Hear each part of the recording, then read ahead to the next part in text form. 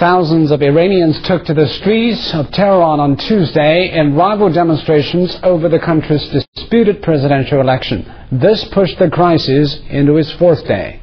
Yang Weihan has more.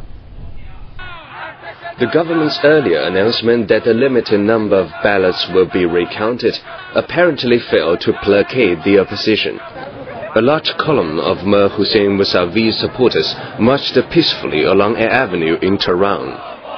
And on Tuesday afternoon, the government organized a large rally in the city.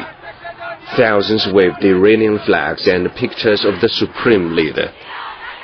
All this unrest is coordinated by foreigners. It is coordinated by Israel and America, and we should strongly confront foreigners. In a message on his website, Mousavi urged his supporters not to restore to violence. The website said Mousavi and his supporters planned another large demonstrations for Wednesday afternoon.